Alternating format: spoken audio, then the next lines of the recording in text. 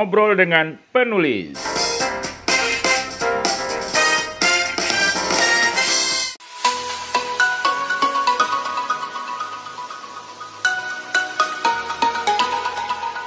Assalamualaikum, salam sejahtera, Om Swastiastu, Namo Buddhaya, salam kebajikan.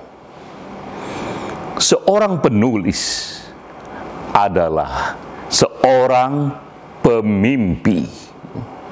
Itu yang dikatakan oleh Carson Coolers, ia seorang novelis di Amerika Serikat di tahun 60-an, karena untuk menulis yang baik memerlukan imajinasi yang liar dan acap kali mereka yang mampu berimajinasi secara kuat adalah para pemimpi.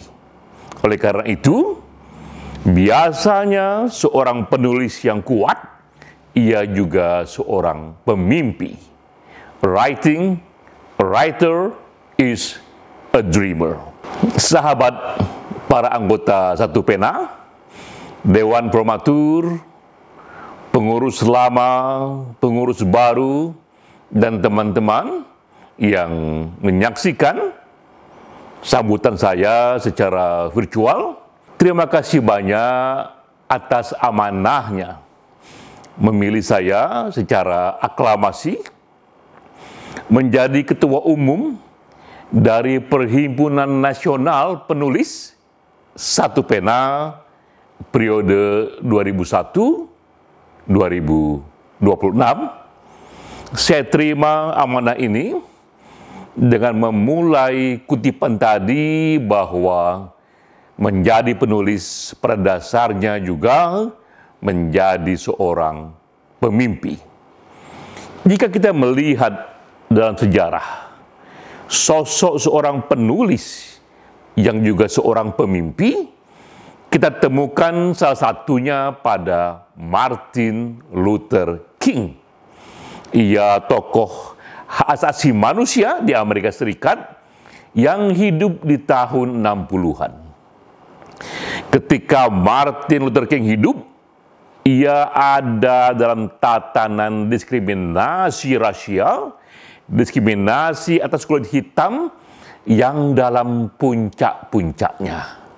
Di era itu, jika kulit hitam ingin bersekolah, maka ia bersekolah di tempat yang terpisah karena mereka adalah warga negara kelas 2. Jika mereka ingin ke restoran, ingin ke hotel, ingin ke rumah sakit, juga mereka dipisahkan Bahkan jika kulit hitam ingin naik bis kota, ya, seandainya pun bis kotanya bersama kulit putih, posisi mereka ada di belakang. Martin Luther King hidup di era ini dan ia juga seorang penulis. Sebelum ia ditembak mati, Martin Luther King sudah menulis empat buku. Di tahun 63, muncullah itu tulisannya dan kemudian pidatonya yang terkenal I have a dream. Saya punya mimpi bahwa pada waktunya manusia tak lagi dinilai oleh warna kulitnya, tapi dinilai oleh karakter dan perilakunya. I have a dream itu dikatakan Martin Luther King bahwa pada waktunya kulit putih dan kulit hitam berdiri sama tinggi dalam meja kemanusiaan. Kita tahu kemudian empat tahun setelah ia katakan mimpinya, Martin Luther King ditembak mati. Tapi kita juga tahu Benar, Martin Luther King terbunuh, namun mimpinya tak ikut terbunuh. I have a dream, mimpi tentang kesetaraan manusia, terus hidup, digaung-gaungkan karena ia sampai pada hati, pada nurani halayak banyak. 50 tahun setelah Martin Luther King terbunuh, terpilihlah seorang presiden dari kulit hitam dan kita menyadari ternyata mimpi Martin Luther King yang dulu di eranya dianggap mustahil, bahkan dianggap berbahaya, ketika datang era kemudian, mimpi itu terwujud. Itulah kekuatan mimpi yang dinyatakan oleh seorang orator, yang dinyatakan oleh seorang penulis. Saya pun menerima amanah ini sebagai ketua umum satu pena, ketua umum Himpunan Nasional Penulis, saya terima pula dengan sebuah mimpi.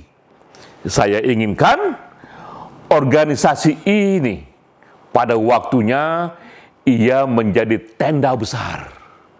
Ia menjadi rumah besar, rumah bersama dari berbagai jenis penulis. Saya kategorisasikan ada empat jenis penulis.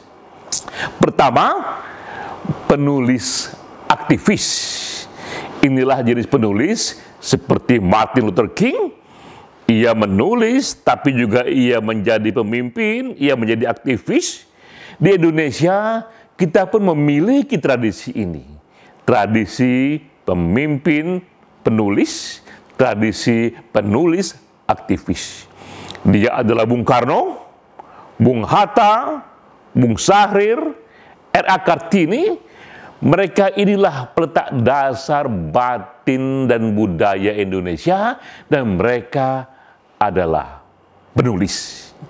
Di luar negeri, mereka yang menjadi penulis tapi juga pemimpin juga banyak. Kita tahu ada Muhammad Iqbal, ini penyair terkenal dari Pakistan, tapi ia juga the founding father, bapak dari bangsa Pakistan. Kita juga tahu di tahun 90-an ada Haklef Hafal. Ia seorang penulis skenario teater dari Cehnya Republik dan ia pun terpilih sebagai presiden karena ia membawa gagasan-gagasan kebebasan di negara yang dulu berlaku komunisme.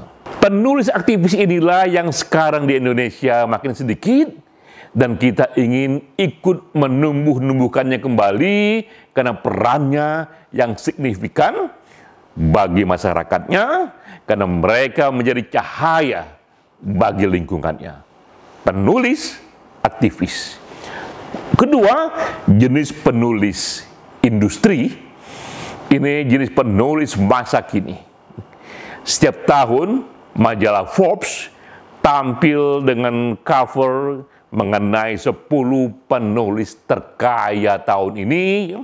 Dikutiplah di sana kekayaan mereka yang mereka dapatkan dari tulisannya itu di atas satu triliun rupiah seperti J.K. Rowling, Stephen King, James Patterson, dan juga Deepak Chopra dan banyak lagi yang lain mengapa mereka bisa dapatkan satu limpahan ekonomi yang begitu dahsyatnya setahun di atas satu triliun itu karena mereka terkoneksi dengan industri hiburan seperti bioskop atau program TV atau juga mereka terkoneksi dengan industri pendidikan. Jenis penulis industri inilah yang sangat, sangat, sangat, sangat jarang di Indonesia.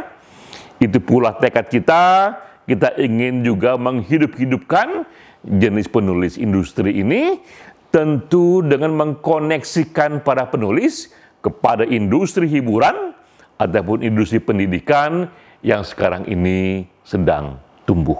Ketiga jenis penulis kampus ini mereka yang menjadi penulis, tapi juga menjadi pendidik.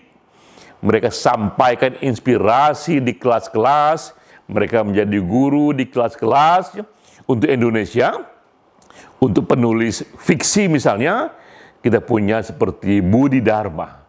Ini senior kita yang baru saja wafat, ia menulis fiksi, ia sampaikan pokok-pokok pikirannya di kelas-kelas.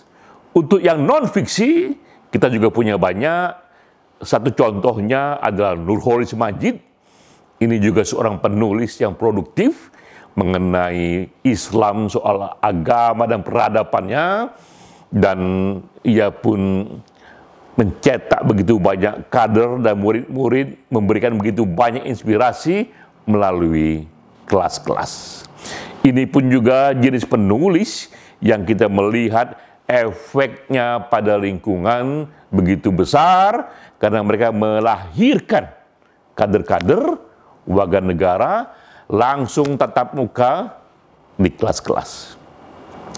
Di luar tiga jenis penulis ini adalah penulis pada umumnya yang kita sebut ini penulis yang sejak lama hidup dalam tradisi dan yang keempat inilah jenis penulis yang lebih banyak yaitu penulis yang bukan penulis aktivis, yang bukan penulis industri, yang bukan penulis kampus. Itulah kategori keempat yang kini paling banyak dan justru mereka lah yang sekarang ini menderita karena terjadinya revolusi industri, satu situasi yang ironis. Karena di era ini informasi melimpah, tapi pada waktu yang sama nilai ekonomi dari informasi, nilai ekonomi dari buku merosot setajam-tajamnya. Sehingga orang semakin jarang membeli buku. Kita lihat sekarang ini dari empat kategori ini, kategori keempat inilah kategori yang paling kena efek paling keras oleh revolusi informasi. Ya. Tapi justru inilah jumlah yang paling banyak dalam komunitas populasi penulis di Indonesia. Apa pun yang kita pilih profesinya, asosiasi, himpunan, perkumpulan satu pena akan menjadi tenda besar bagi mereka semua. Tentu saja ada keinginan dari satu pena untuk lebih menciptakan lebih banyak jenis penulis yang aktivis, lebih banyak penulis yang industri, lebih banyak juga penulis kampus. Ya. Tapi sekali lagi, apa pun jenis penulis yang kita pilih itu sepenuhnya adalah kesunyian masing-masing, itu sepenuhnya pilihan hati masing-masing, dan satu pena bertekad akan memberikan ekosistem yang lebih sehat, akan membuat lingkungan yang lebih kuat agar mereka lebih bebas berkarya, agar mereka lebih sejahtera. Bagaimana caranya? Di hari pertama saya dipilih sebagai ketua umum satu pena, saya pun sudah mendeklarasikan tujuh program unggulan. Yang intinya adalah ini program yang kembali mengkoneksikan penulis ke dalam satu situasi dunia industri yang keempat. Sekali lagi, terima kasih banyak atas amanah ini. Saya terima amanah ini dengan mimpi, di luar mimpi, sisanya adalah perjuangan. Salam.